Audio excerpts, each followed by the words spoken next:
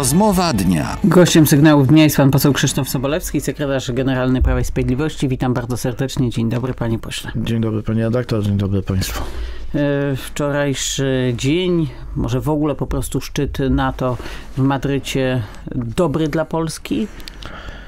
Panie redaktor, ogólnie obrady tego szczytu z początku nie zapowiadały takiego, takich rozstrzygnięć. E, dobrze wiemy o problemach, jakie były przy e, wnioskach akcesyjnych e, Finlandii i Szwecji, a później okazało się, że ten szczyt to jest, e, można już go nazwać historycznym. Po pierwsze, e, została przyjęta nowa strategia NATO. E, tutaj pan prezydent Andrzej Duda podpisał nową strategię NATO wraz z innymi członkami NATO, gdzie Rosja jest określana jako przeciwnik. W końcu została określona właściwie. Przyjęto wnioski akcesyjne, oczywiście rozpoczęto procedurę akcesji. Mamy nadzieję, że to będzie niedługo trwało i zostanie do NATO przyjęta i Finlandia i Szwecja, co z automatu zwiększa granice Rosji z NATO tak naprawdę dwukrotnie. Podwaja tą granicę. No, dla Polski bardzo ważna informacja e, to to, że będzie w Polsce dowództwo 5 Korpusu Armii na stałe. I to, to są takie rzeczy, które przed szczytem bralibyśmy w ciemno. Y, ja zadałam to pytanie, czy to dobry, y, czy to dobry finał, bo tak, z jednej strony słyszymy głośno chociażby polskiego prezydenta, polskiego szefa Ministerstwa Obrony Narodowej, którzy mówią o tym, że, że te oczekiwania Polski zostały spełnione. Ambasador Rzeczpospolitej Polskiej przy NATO, pan ambasador Szatkowski mówi o tym, że no, wszystko, co można było uzyskać, zostało uzyskane, że ten szczyt został wyciśnięty przez Polskę do ostatniej kropli, no, ale z drugiej strony mamy wypowiedź no, polityka, który pretenduje do tego, żeby być w Polsce premierem Donalda Tuska, który jest zawiedziony i mówi, że ta ochrona Polski jest w tej chwili mniejsza niż pół roku temu. Panie redaktor, tutaj akurat ta wypowiedź nie dziwi, bo pamiętamy doskonale, gdy był premierem pan Donald Tusk, a prezydentem był pan Bronisław Komorowski, to e, na szczycie NATO podpisywali inną strategię, gdzie Rosję nazywano partnerem. A e, w trakcie rządów e, Donalda Tuska pan prezydent Barack Obama, prezydent USA, 17 września ogłaszał, że e, nie będzie powstawała tarcza antyrakietowa w Polsce. E, więc to, że dzisiaj odzywa się pan Tusk takimi, a nie innymi słowami, to tylko jest potwierdzenie tego, co o nim mówiono, pisano w Moskwie że nasz człowiek w Warszawie, więc nic mnie zaskakuje. Jest to chyba odosobniony głos na opozycji, bo wiem, że z części opozycji głosy dochodziły bardziej takie, które mówiły o tym, że ten szczyt jest jednak sukcesem. A dodatkowo e, można dodać, że na szczycie e, zapadły decyzje też o wzmocnieniu innych państw NATO w Europie, a jednocześnie e, zobowiązaniu wszystkich państw NATO do tego, aby swoje wydatki PKB ich budżetów osiągało minimum te 2%, żeby jak najszybciej to zrealizowali, czyli dozbrajanie się oraz wsparcie, jeszcze większe wsparcie militarne dla Ukrainy, która jest w tej chwili no, w sytuacji ciężkiej, ciężka walk, ciężkie walki z Rosjanami w Donbasie, więc głos Donalda Tuska, można powiedzieć, że głos Moskwy w Polsce. Do sprawy wojny na Ukrainie jeszcze wrócimy. Panie pośle, jak pan rozumie wypowiedź pani komisarz Jurowej? No bo ze, gdybyśmy zestawili tą wypowiedź z wypowiedzią szefowej Komisji Europejskiej, no przecież prawo uchwalone w Polsce likwidujące Izbę Dyscyplinarną w Sądzie Najwyższym było znane, jest znane. To nie jest coś, co wczoraj zostało pokazane opinii publicznej i pani Jurowa dopiero wczoraj mogła się z tym zapoznać. No, szefowa Komisji Europejskiej mówiła, że to spełnia wymagania Komisji Europejskiej i wszystko jest w porządku. Wczoraj pani Jurowa ni stąd, ni zowąd mówi, że, że ona ma inne zdanie. O co chodzi? Nie tak, to mo można powiedzieć, można było powiedzieć, że to jakieś występują problemy komunikacyjne na linii e, podopieczna i szefowa e, w Komisji Europejskiej i mam nadzieję, że to sobie wyjaśnią panie między sobą e, już w Komisji Europejskiej. Z naszej strony zostały spełnione wszystkie warunki. Ustawa, która była projektem pana prezydenta, spełniała wszystkie te wymogi, które były w trakcie negocjacji ustalone z Komisją Europejską dotyczących no, tych już kamieni milowych w zakresie sądownictwa, więc z naszej strony zostało spełnione wszystko, a mam nadzieję, że tutaj e, dwie panie sobie wyjaśnią te kwestie. E, Dobrze, ale panie pośle, no właśnie. No, pani słowa, pani komisarz, uważam, to jest wyjście przed szereg mm, i a mamy taki sygnał z Brukseli, że to jest wyjście przed szereg? Czy Panie jeszcze nie mamy takiego sygnału? E, takiego sygnału jeszcze nie mamy, ale sądzę, że on e, w najbliższych godzinach przyjdzie. E, pani przewodnicząca von der Leyen wszystkie te, które, te swoje wymogi, które stawiała e, w, tej, w tym zakresie, uznała za spełnione, będąc tutaj i ogłaszając przyjęcie polskiego KPO. Więc no, mówię, problemy komunikacyjne, mam nadzieję, że to są tylko i wyłącznie problemy komunikacyjne na linii podopieczna i szefowa w Komisji Europejskiej. Mhm. A myśli pan, że to nie może być no, ten scenariusz, w którym też jesteśmy, może inaczej, dalsza odsłona scenariusza, do którego jesteśmy przygotowani w pewnym sensie sensie przyzwyczajeni, że no, to jest kolejna eskalacja jakichś żądań ze strony przynajmniej części przed, wysokich przedstawicieli Unii Europejskiej i później próba no, rozbudowania na podstawie właśnie tej eskalacji kolejnego konfliktu z Polską. No już takie rzeczy widzieliśmy. Panie tak, to oczywiście nie wykluczam tego. Doskonale pamiętamy e, w moment ogłoszenia przez e, panią przewodniczącą von der Leyen e, przyjęcia polskiego KPO i głosy z opozycji, więc y, można też tutaj domniemywać, że głos pani Jurowej to niekoniecznie był jej głos samej z siebie, ale głos wsparty tymi oczekiwaniami polskiej opozycji, która oskarżała Komisję Europejską o zdradę, gdy, przyjęła, gdy zostało przyjęte polskie KPO, y, bo wiadomo, jak dla totalnej opozycji y, im gorzej dla Polski, tym lepiej dla nich.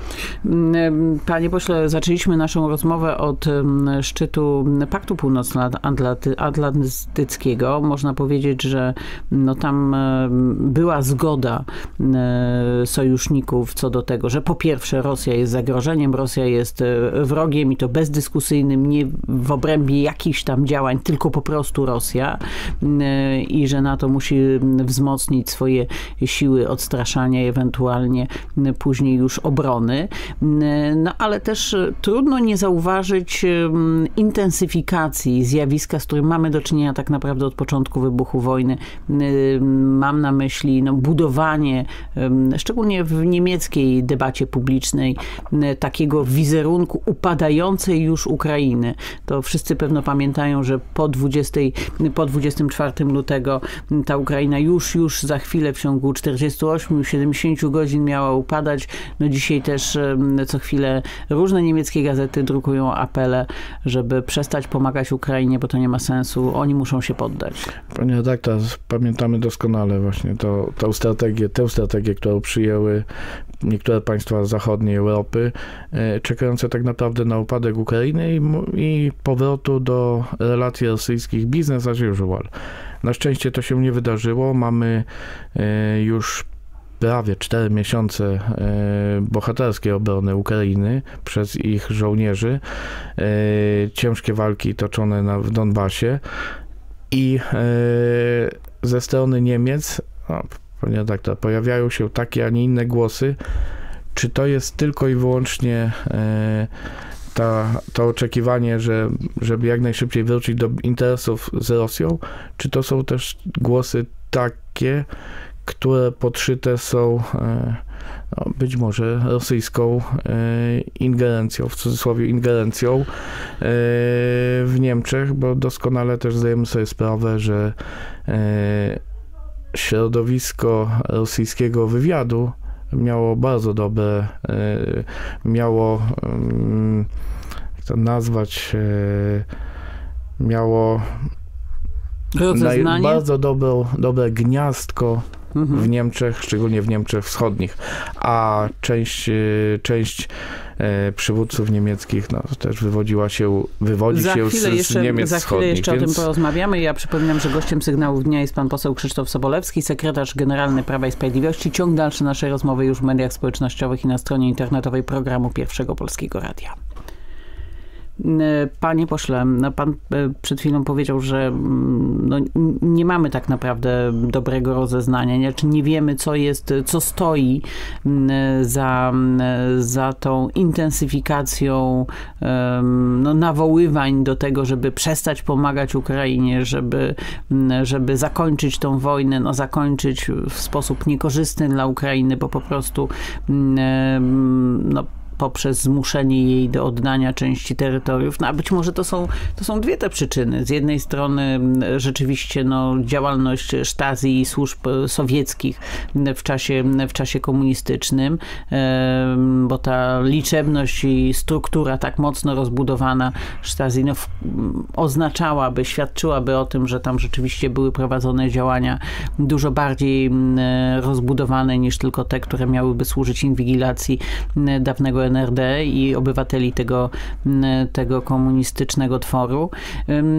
ale być może i ta druga, i ta druga opcja, czyli chęć powrotu do tego, co było, bo Rosja to cenne źródło energii, a ta energia służy rozbudowie, znaczy po prostu realizacji strategii państwa niemieckiego, to być może nie ma tutaj żadnych przeciwwskazań. Może być i jeden powód, i drugi. Panie tak, to, to, to yy, oczywiście nie wykluczam ani jednego, ani drugiego, e, a nawet przychylam się ku temu drugiemu, czy kwestie gospodarcze, bo pamiętajmy, że Niemcy e, w 100% są uzależni były uzależnione e, od gazu rosyjskiego i od, a no prawie w 100%, przepraszam, a chyba w 60 albo 70% od węgla i innych surowców rosyjskich, czego najlepszym przykładem była też interwencja w ostatnich dniach pana kanclerza Scholza e, w kwestii blokady, blokady, w kwestii zakazu transportu kołowego między Rosją a obwodem kaliningradzkim przez Litwę.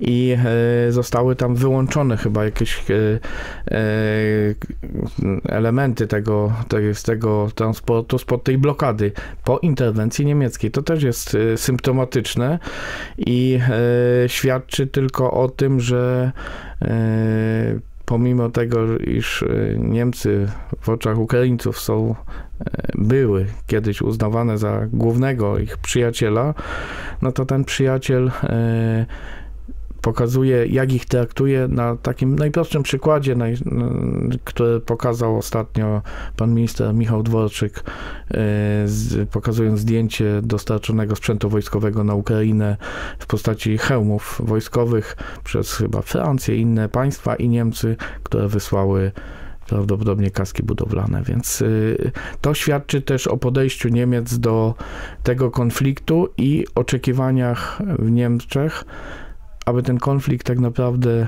został już wygaszony, albo jak najszybciej wygaszony, bez względu na to, jak co się stanie z Ukrainą, bo Niemcy muszą wrócić do business as usual z Rosją.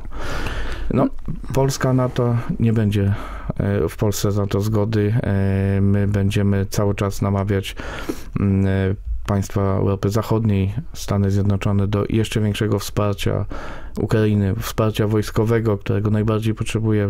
My musimy pamiętać o jednym.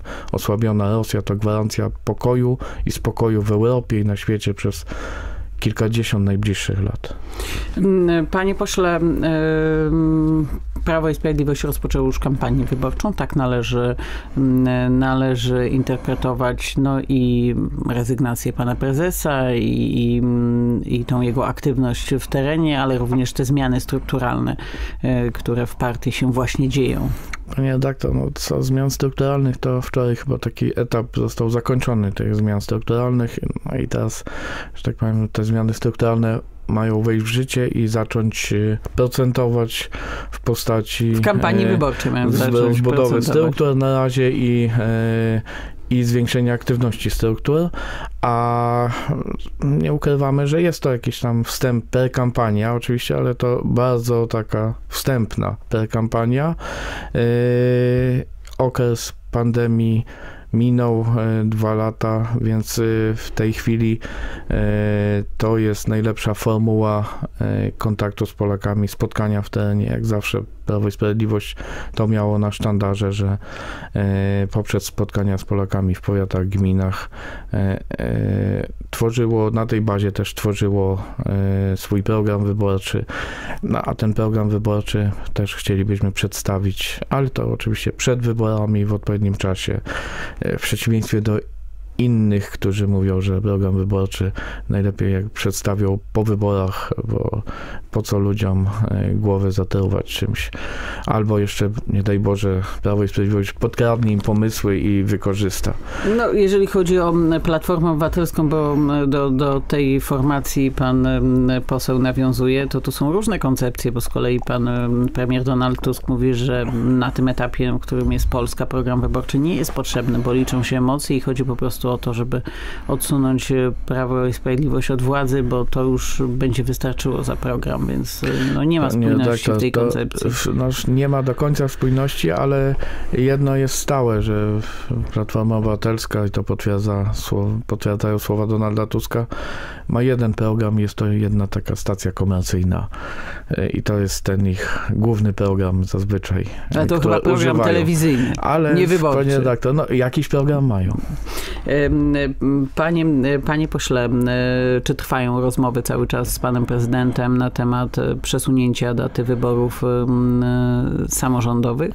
Trwają konsultacje oczywiście i z panem prezydentem, ale też i e, w naszym środowisku, bo chcemy E, się do tego dobrze przygotować, dobrze przygotować projekt ustawy, które chcielibyśmy, jeśli oczywiście mm, uda się to ustalić i e, mieć wspólne stanowisko też oczywiście z panem prezydentem, bo jesteśmy też doświadczeni e, tym, że nie zawsze zmiany w kodeksie wyborczym, a tutaj też będą zmiany w kodeksie wyborczym dobrze nieprzemyślane, zmiany, które nie są dobrze przemyślane, mm, później skutkują e, odwrotnie od zamierzeń, mm, więc e, to jest przynajmniej rok 2006 też, przypominam no dobrze, ale, czas. ale jeżeli, Natomiast jeżeli miałby pan czas... na dziś powiedzieć, to mm, większe szanse daje pan na to, że taka ustawa trafi do Sejmu, czy że nie trafi? No bo to rozumiem, że jeżeli Panie trafi, to znaczy, że będzie jakieś zielone światło ze strony Kancelarii Prezydenta ustawa trafiła ja do Sejmu i e, mam taką nadzieję, że trafi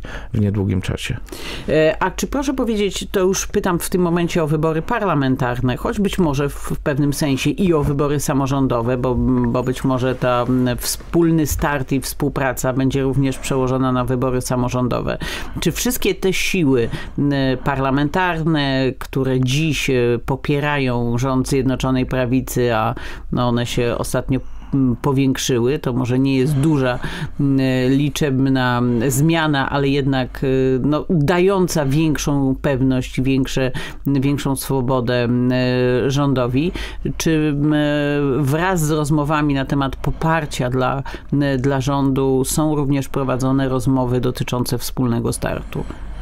Panie redaktor, kulisy polityki, kuchnia polityczna e, czasami lubi po prostu ciszę, spokój. No ale ja nie mówię, y, żeby nie proszę pana o to, żeby pan nam opisywał, w jaki sposób te kuchni, rozmowy są prowadzone. E, panie redaktor, ale oczywiście czy, czy ten temat jest są, poruszany? To są to już nie taka kuchnia. Zazwyczaj e, tematy, które idą dwutorowo można i równolegle. Że, można powiedzieć, że karta dań, panie pośle. A tak, ona zawsze jest, y, jest dostępna. To idzie dwutorowo, równolegle hmm. i e, oczywiście nie, nie, nie mogę tutaj zaprzeczać zaprzeczyć, że e, takiego kierunku nie przewidujemy. Chcielibyśmy, aby e, Zjednoczona Prawica szła szeroką listą i to też e, zwiększa szanse na powtórzenie wyniku wyborczego z 2015 i 2019 roku, które to wyniki wyborcze właśnie świadczyły o tym, że im szersza lista Zjednoczonej Prawicy, tym lepszy wynik wyborczy. Dlatego e, ten kierunek jest w tej chwili najbardziej optymalny. Panie pośle, to w takim razie powróćmy do, do sprawy Ukrainy, wojny na Ukrainie, ale może w zupełnie, no, może w kontekście na początku, o którym pewno byśmy nie chcieli mówić. Wystąpienie ambasadora Ukrainy w, Niemie, w Niemczech w jednym z programów, no tam padły y, słowa, które na pewno nie służą współpracy polsko-ukraińskiej. To chyba nie ma nikt y, co do tego wątpliwości. Zastanawia się pan, dlaczego te słowa w tej chwili padły? No bo po pierwsze mamy apogeum wojny. Y, Polska jest tym krajem, zresztą przecież o tym sam mówi sam pan prezydent Zełęński. To nie jest nasza ocena, no ale to jest też ocena potwierdzona przez najwyższe władze Ukrainy. Polska jest tym państwem, który no, w sposób szczególny wspiera Ukrainę wszędzie tam, gdzie ta pomoc jest potrzebna, na różnych, na różnych poziomach i w różnych miejscach. No i, i jednak takie lekceważenie i deprecjonowanie zbrodni popełnionych w 43, no nie tylko zresztą w 43, no chodzi o zbrodnię wołyńską i wszystko to, co rozumiemy pod, pod, pod tym hasłem, no na pewno nie służy dobrze relacjom polsko-ukraińskim. Można powiedzieć, że na Kremlu mogą się cieszyć. Panie tak, to oczywiście, że mogą się cieszyć na Kremlu. Yy, wiem, że wczoraj była interwencja pana ministra profesora Zbigniewa Rała i też było oświadczenie strony ukraińskiej, MSZ Ukrainy, yy, które odcina się od tych słów yy, pana ambasadora i mamy nadzieję, że MSZ Ukrainy e, będzie, podejmie kolejne działania w tej kwestii. Bo o jakich działaniach jest, pan myśli? Jakie działania ma pan na myśli? To już pozostawiam mhm. oczywiście w gestii MSZ Ukrainy. No to dobrze, to inaczej. To jakich, Natomiast, jakich działań redaktor, jeszcze by pan oczekiwał? Panie redaktor, w pierwszej kolejności to na pewno e, zmiany narracji przez pana ambasadora, bo e, to, że został umiejętnie podpuszczony przez redaktora, bo ja też słuchałem tego wywiadu i redaktor niemieckiej e, telewizji, e, o ile dobrze pamiętam, to e, tam umiejętnie wprowadził ten wątek pan ambasador jest na niełatwym odcinku, bo w Niemczech, jeszcze przed chwilą rozmawialiśmy o tym, jak mhm. podejście Niemiec do Ukrainy i do wojny, do agresji rosyjskiej na Ukrainę, jest tam na niełatwym odcinku. A to potwierdza tylko jedno, że e, nawet 43 rok i Wołyń, panie redaktor, czy te wcześniejsze stosunki polsko-ukraińskie e, na terenach Wołynia, e, czy, czy, czy, e, czy innych e, były konflikty były podsycane bądź to przez jednego, bądź przez drugiego okupanta, czy Niemcy, czy przez mhm. Rosję. Jak widać, minęło 80 lat i ta, ta próba podsycania niechęci Polski do Ukrainy albo odwrotnie yy, nie zmieniła się, zmieniły się tylko formy i metody, jak widać no e, dobrze, ze strony niemieckiej. Pośle, Natomiast no tak były to niedopuszczalne no słowa. No właśnie, pan ambasador I, Melnyk nie jest jakimś nieopierzonym dyplomatą. To, nie, to jest człowiek, który jednak jest... potrafi być asertywny, co w ciągu ostatnich miesięcy bardzo mocno... Na kierunku niemieckim bardzo dobrze było to widoczne, no to właśnie, prawda. udowodnił, więc to nie wiem, dlatego, czy aż był tak podpuszczony. Dlatego e, mamy nadzieję, że wyciągnie z tego wnioski i w krótkim czasie e, usłyszymy e, zarówno jego reakcję odpowiednią, jak i e, MSZ Ukrainy. No, tego bym oczekiwał. To, to mogę powiedzieć jako z mojej strony tu osobista, osobiste oczekiwanie, bo to tylko daje niepotrzebne paliwo tym, którzy w głos Moskwy wsłuchują się codziennie i tym głosem Moskwy rezonują i w Polsce, i na Ukrainie. Panie pośle, wczoraj została zakończona już oficjalnie budowa zapory na granicy polsko-białoruskiej. Zapo- mówimy o tym etapie no, budowy po prostu zapory fizycznej, fizycznej zapory, bo wiemy o tym, że te prace nad tą zaporą elektroniczną, czyli dozbrajaniem tego, tej infrastruktury w urządzenia elektroniczne trwa i ma się zakończyć do końca września, ale to jest, to była inwestycja, która budziła niesamowite emocje. Ja pamiętam debatę w Sejmie Wiele osób pewno ją pamięta. Wówczas, wówczas no, wiele przedziwnych wystąpień było na ten temat. Miała ta zapora tak naprawdę, no to nawet o tym mówił sam Donald Tusk, miała nigdy nie powstać i chodziło o to tylko, żeby ludzi straszyć i szczuć jednych na drugich. Później Platforma mówiła o to, że chodzi o to, żeby ukraść te pieniądze przeznaczone na zaporę. No, zapora stoi. Można ją zobaczyć, może nie bezpośrednio samemu. No już od dzisiaj można, bo tereny no, przygraniczne no są nawet, do, nawet otwarte dzisiaj... z dniem dzisiejszym, z, nie wiem, 1 lipca, więc... No tam zdaje się jakiś pas jest, ale pas, powiedzmy, ale że... ten pas nie jest aż tak odległy, żeby nie można było, było zobaczyć. zobaczyć. No. Natomiast, panie redaktor, no, odnośnie samej zapory i tego, jak została budowana, to też y, pragnę przypomnieć i y, zasygnalizować, że to była też inicjatywa Komitetu Bezpieczeństwa i Obrony na czele z panem premierem Jarosławem Kaczyńskim, kiedy był w rządzie i to było wtedy, kiedy jeszcze nikt nie myślał, nawet nie przypuszczał, że może być wojna na e, agresja Rosji na Ukrainę, ale mieliśmy pierwszy symptom tego, że e, Moskwa zaczyna bada te, badać tereny e, na zachód od swoich granic, wysyłając prze, za pośrednictwem oczywiście Łukaszenki swojej hordy tych młodzieńców, którzy e, tak, a nie inaczej traktowali polskich pograniczników, polską granicę, próbując się przedostać do Niemiec. To było pierwsze badanie, no, wojna hybrydowa zaczęła się wtedy dla nas i e, wtedy powstał też pomysł budowy tej zapory. Doskonale pamiętamy, co mówiono z tamtej strony opozycji o zaporze, no, począwszy od tego, że e, Donald Tusk teraz powinien połykać swój język, bo mówił, że nie będzie zbudowana, albo mm, nawet nie zaczną budować. Jest 1 lipiec, zapora jest postawiona. Yy, uspokoi to też bez, yy, życie mieszkańców terenów przygranicznych, które do tej pory było, było trudne poprzez te ataki, które nie ustały. One cały czas trwają na granicy polsko-białoruskiej. I e, to, że jest w tej chwili ta zapora, ona jeszcze jest, do, będzie dodatkowo wzmocniona elektroniką, e, będzie, to pokazuje tylko jedno, że dla nas najważniejsze jest bezpieczeństwo Polski, bezpieczeństwo Polaków. I e, ci, którzy uważają inaczej, to e, no, można powiedzieć, że albo są e, albo to robią z głupoty, albo są tak, zwanymi, tak zwanymi polieznymi idiotami Moskwy. No, tylko tak to mogę określić. E, a e, to, że ta zapora, dzięki też oczywiście tutaj działaniom e, pana ministra Kamińskiego, no, wszystkim, którzy byli zaangażowani, to pan premier Morawiecki w budowę tego, pokazuje jedno, że to, co Prawo i Sprawiedliwość, czego Prawo i Sprawiedliwość jest znane i jako ma e, marka e, marka Prawa i Sprawiedliwości z tego jest znana, że to, co obiecujemy, realizujemy. Czasami wolniej, czasami szybciej, ale realizujemy. E, a tego nie można powiedzieć o opozycji. Mm, panie pośle, ale ja w takim razie dopytam, bo czy już jakby, no, bo zapora jest. Będzie jeszcze, tak jak mówimy, do zbrajana w te wszystkie... Jest też pomysł, aby ona była, że tak powiem, w jakimś tam w jakiejś perspektywie rozbudowywana. W którą stronę? Być może na południe.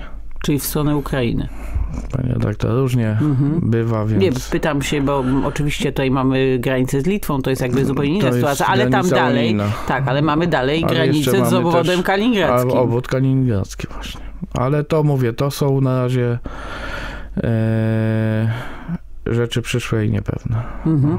Ale czy y, możemy się spodziewać, y, że mimo tej zapory no, służby białoruskie i rosyjskie, bo to one wspólnie organizowały nam tą akcję szturmów na, naszych, y, na naszą granicę, na naszą straż graniczną, na wojsko, na policję y, i tworzyły tą atmosferę grozy i niepewności w Polsce, bo to na pewno była też atmosfera grozy właśnie dla tych mieszkańców, którzy tam niedaleko granicy mieszkają.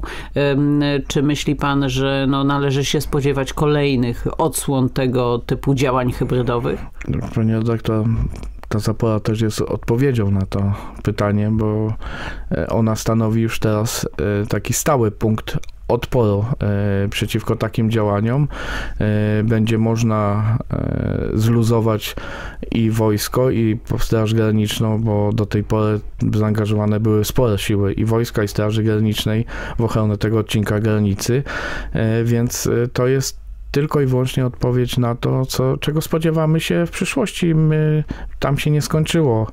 E, nie skończył się ten nielegalny, nielegalne próby przejścia przez granicę. One ciągle trwają i przebierają, przebierały coraz ostrzejszą formę przy wsparciu niestety e, służb granicznych Białorusi, które e, czy zastraszały nas, próbowały zastraszyć naszych pograniczników, e, czy naszych żołnierzy e, strzegących granicy, czy to strzałami e, w powietrze, No wiemy, czy rzucanie oślepianie. kamieniami, czy oślepianie, więc niczego innego się tam niestety nie spodziewamy, ale mając tę zaporę zbudowaną, jest, na pewno jesteśmy spokojniejsi o to, o trwałość tej granicy.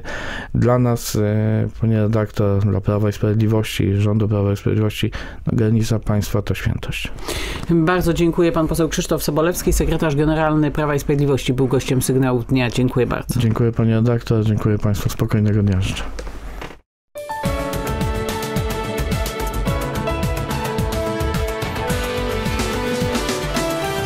Była to rozmowa dnia. Udostępnij ją portal informacyjny polskieradio.pl.